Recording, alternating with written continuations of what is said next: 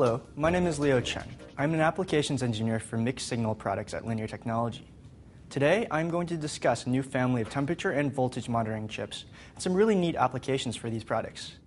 This circuit, a Delta VBE thermometer from application note 45 by Jim Williams, illustrates the concept of using a remote diode as a temperature sensor.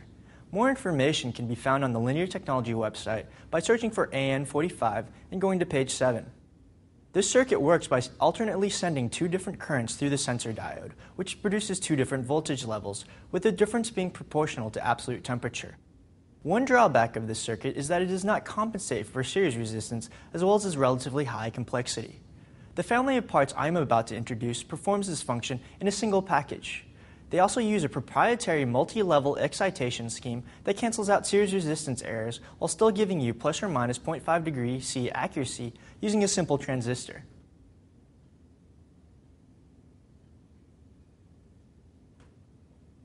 First up is the LTC2997, or as we like to call it, the chip you've been waiting for.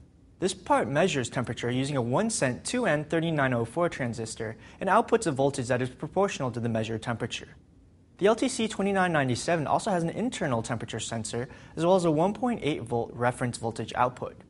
Simply put, the 2997 is the most basic component needed to build an effective system monitor.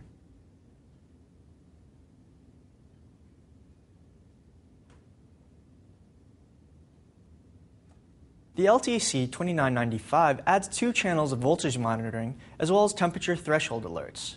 Resistor dividers set the three different monitorable thresholds. The alert pins can be used as interrupt inputs to the user's microcontroller or even an LTC push button controller in order to provide rapid response to power rail fluctuations.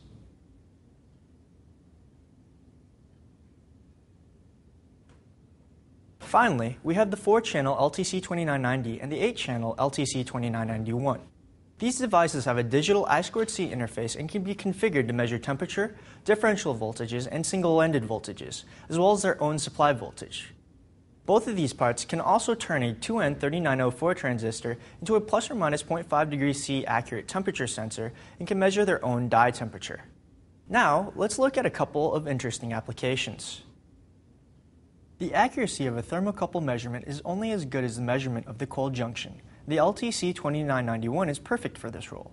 In fact, many thermocouple sockets are designed to accept a transistor for this very purpose, which can then be read by the LTC2991. This is especially useful when there are large panels with a possible temperature gradient, which would require several cold junction measurements for proper compensation. Another interesting application is a psychrometer, which really isn't quite as ominous as it sounds. It uses two temperature readings to determine relative humidity. What we have here is a traditional sling psychrometer. It contains two mercury thermometers, one of which is covered by a wet saturated cloth. This is the wet bulb temperature, while the other uncovered thermometer gives us the dry bulb temperature. The wet bulb temperature will be lower than the dry bulb temperature due to evaporation, more so once we introduce a constant airflow. In this case, constant airflow is introduced by because evaporation is an endothermic process, the psychrometer is now showing that the wet bulb reports a lower temperature than the dry bulb. By cross-referencing a psychrometric chart, one can then determine the relative humidity based on these values.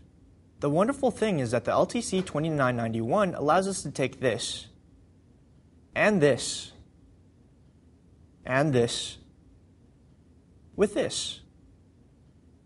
As much fun as this was, this is much more practical.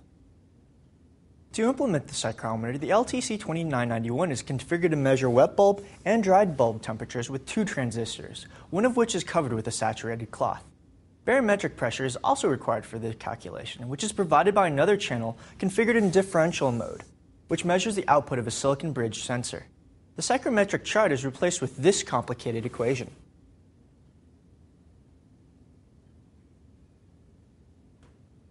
We use wet and dry bulb temperatures to calculate the saturation vapor pressure and the current measured vapor pressure. The ratio of these two values can then give you the relative humidity. The software for the LTC 2991 demo board includes a relative humidity calculator implemented as an Easter egg. Placing a dummy file called tester.txt in the program directory enables the feature, allowing you to experiment with this application. It is really amazing what we can accomplish using just one of our system monitor solutions, almost as amazing as with their precision specifications, versatility, and variety, Linear Technology's system monitor parts can easily find a home in many applications. Linear has a growing family of temperature monitor products. For more information, please visit us at www.linear.com. Thank you for watching.